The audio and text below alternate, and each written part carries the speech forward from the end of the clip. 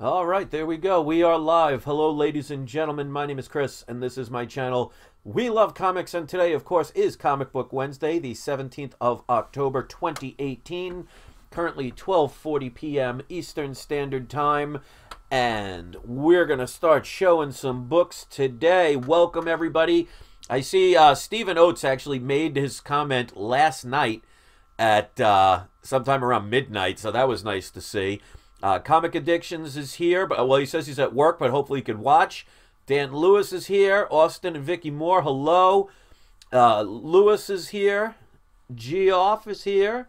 Wild Child, all right, we got a bunch of people, and uh, you guys want to say hello to one of my cats. This is Oregon, so he's going to say hello to you guys. He wanted to be a part of this show, and um, not a lot of comics this week, but still some you might want to check out.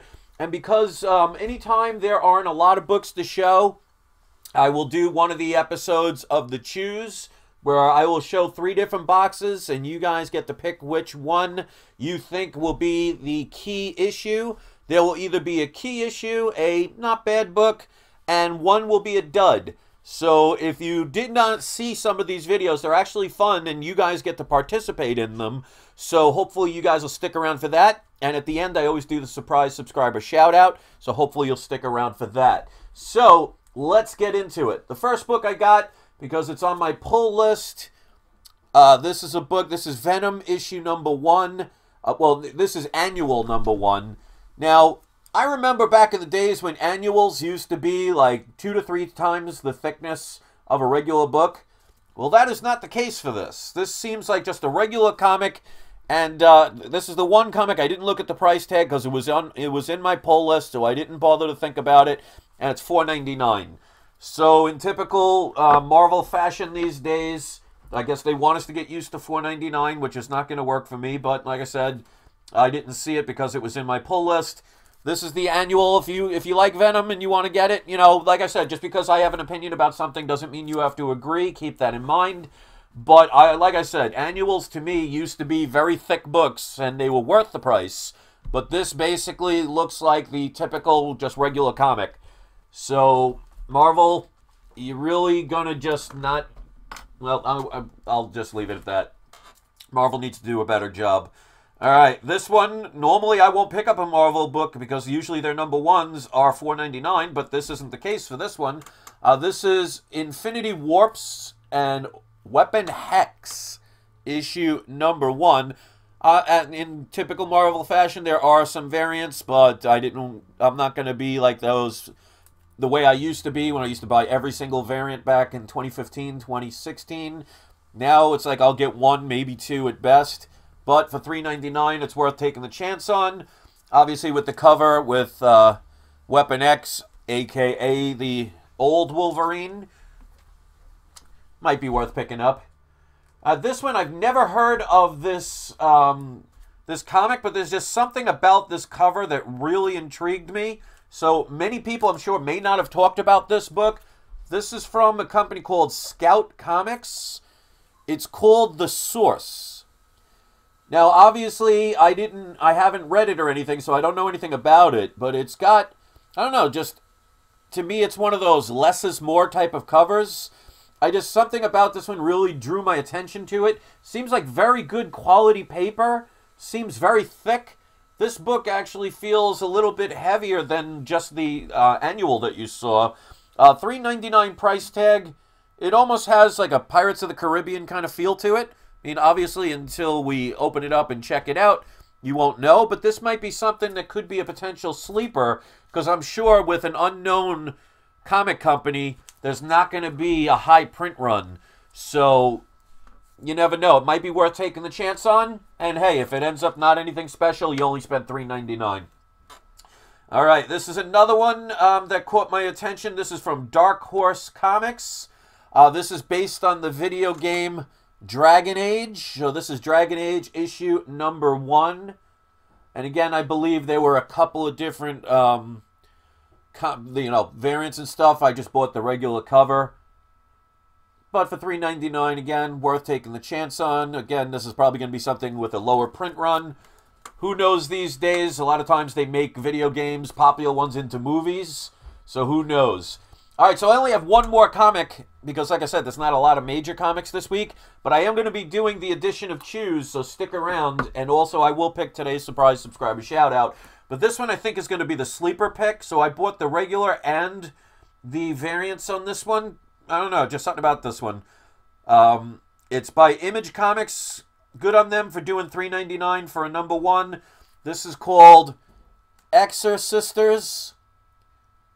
Of course, because, you know, they have to take something old and turn it into something new. So I'm sure it has to do with something that has to do with the exorcism. Just my just my guess, but that is the regular cover. And I've got two of the variant. To me, I think this is going to be one of the sleeper picks. So this might be a book worth checking out, especially if you can get it for cover price. Because you know these days, if a book has any hint of anything of success, nowadays, the same day it comes out, people will sell it on eBay for 15 20 $30. So nowadays, if you're not sure it's worth taking the chance on, get one. And hey, if it doesn't work out, you spent $3.99. But you don't want to be one of those people that if you pass this up at the comic book store and then by the time you get home you find out, oh, this is a really popular book. Now you go on eBay, it's selling for $20.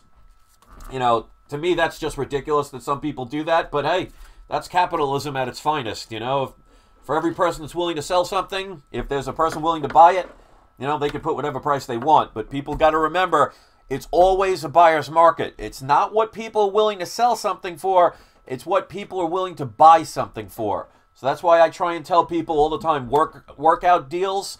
And if something is too expensive, you either do one of two things wait for a deal or say, you know what, I'm just not going to pay the top price on this book, and I'll just say, you know what, I missed out. I mean, like, for example, as of now, the Batman Damned number one, the regular covers, they're hovering around $50. They're ranging between, I've seen like 45 to $65 range but it's been that way for the past week or so. So if you bought at that high point, you'll see that there are, I mean, especially if you're going to sell them, there's as of now no profits because it's staying stagnant. Now that could go down or it could go up. Who knows? But as of now, if you're paying top price for something just to have a book, then, you know, not for nothing, if you bought it because you wanted to read it, you can get a digital copy. So don't overspend based on emotion. That's one of the things I try and teach people. Um, some people are going to do it no matter what. Hey, I mean, it's your money. You can do whatever you want with it. I'm trying to save you money because remember, whether you spend your money or don't spend your money, whether you save money or don't save money, it doesn't affect me in any way. So I'm doing it just to kind of help people out. So those are the books, but stick around because we have three packages that you guys get to choose from. We will open one of them up one will be a key issue, one will be a not not bad at all, and another will be the dud. So you're going to have to try and communicate with each other and see if you cannot be fooled. Uh, last video I did a couple of uh, like a day ago, day and a half ago, because I did it at night. Um, you guys got me twice. You got the key issue once. You got the not bad book the second time, or the first time actually, and the third time I was able to get you with the dud. So let's see if you guys can work together. So uh, I'm going to show the packages, then you're going to vote. Remember, you only get to vote once. You cannot change your vote. And if you want to talk amongst yourselves, please do. But here we go. Let's show the three books, and then after that, we will do the surprise subscriber shout out. So the more you make your voice heard, the more likely you are to get it. So really quick, I want to say Ashen, hello, Jay. Um, Future Finds, Pages Film and Plastic, Sequential Geek, Chaos Lord, Jay Littles, a bunch of you. I see 70 people watching, so I'm very happy to see that. Check out this um, uh, under the playlist. This is um, under the category of Choose. So it's something you guys get to interact with. So here we go. They're already picking numbers yet. Don't vote yet. But uh, this is package number one. Now, obviously, I'm not going to show the other side because it has my tracking number and information. But as you can see, this seems to be very well sealed. Looks to be in very good condition. Seems to be very thick, so there could be a lot of comics in there. Or it could be the dud, you never know. You'll just have to see if you choose number one. This one, you guys know I always love. It's the wonderful envelope that they're nice enough to write do not bend. Always love when they think that's like, you know, the kryptonite to the postal workers. But it looks like it's intact. They were nice enough to make sure not only it was folded but taped because, you know, I do the same thing. Like, to me, that is not protection if you're going to mail something. Just putting that little metal flap and bending it forward. So I'm happy they did that. So if you want to see what's under door number two, you'll just have to pick that. And last but not least, we have another. Well, this is a longer one, so maybe this could potentially be a graded book. There could be several books in there, or this could be my dirty laundry. You never know. I have done that before. So, there are no big boxes today. All three are comic book envelopes, so you'll have to decide what you think is going to be the one that you guys need to pick. So, right as of now, when you are ready, just pick which door you want, and then we'll go from there. So, happy bidding, everybody.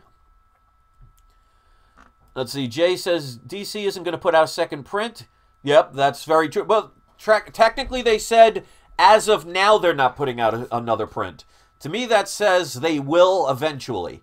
So remember, you got to listen to the words because DC did say they're not going to put a second print out at this time. That doesn't mean forever. So I have a feeling, knowing how profitable that one was, I have a feeling that they will do a second print eventually, but I believe it will be censored. All right, so people are very afraid of box number two. I find that interesting. So because that's an envelope, you're being scared away. So far, only one person picked number two. Now, the funny part is, I might have known that you guys would think that way and purposely made it look that way so you would not even consider it. And so far, that is working rather well. But we'll find out once you make the pick. All right, so a couple of twos are coming in now. So remember, I have done reverse psychology before, so you never know. And Eric says, I'm holding on to my Batman Damned. You should. I definitely recommend that. But I, I as of now, I wouldn't spend $60 on the regular cover. I mean, I missed out on it. I have the the actual one. Well, it's not even a one per store variant, but the um, the variant version of it. The um, what is it called? The uncorrected proof. That one's worth about two three hundred. So I mean, it depends. All right, so couple people saying three. So it looks like three and one are going to be the choices. So you guys have definitely been. I mean, you guys are definitely staying away from box number two. So three more votes, and we will find it. So basically, at this point, unless all of a sudden 50 people start voting for number two, I will take out the key issue and get let you guys see what books we have that you have left. So three more votes, and now it'll be decided. Uh, Manny, the comic collector says it's just saw a dam for 50. Also remember, it depends on the condition. These books can get dirty very quickly. There's a lot of smears. Make sure you look at the back of the book. I see a lot of people making auctions where they only show the front. Be very careful about that. All right, so we are going to close it now. And let's see what Ryan Adams says. DC says it feels shamed about the book. Well, I mean, they're saying that politically. I, I, guarantee you they know that they did it because it would be controversial and it would sell. So, you know, what they say publicly and what they do privately are two different things. But yeah, of course they're going to say the right things. Says, while I know people think that they will make a second print, I really think that DC is going to move on from this book. Here's the thing why I, I mean, here's what I think they're going to do, and this is my opinion. And by the way, you guys picked number one, so we're going to open the first box. DC is going to make money on this. They already did. They sold out every single book probably within the day or within at least 24 hours. There is no way in my mind they're not going to make a second print. They'll just maybe cut out that last scene completely. Like, not even just censor it. Maybe they just might just totally rewrite the last page. But make no mistake, I guarantee you, when they make a second print, and this is just my opinion, it may be months from now, but when they do a second print, I really think a lot of people are going to buy it, especially the ones that missed out on the first print. So I it would be shocking to me if DC decides as a company to do the right thing and decides never to make another print of that. I mean, stranger things have happened, but when it comes to businesses where they can pretty much almost guarantee themselves to make money, going to be very hard to convince the shareholders of DC Corporation to not do something that could make them almost guaranteed money. But I guess we'll find out. But that's why I really think you got to listen to the words.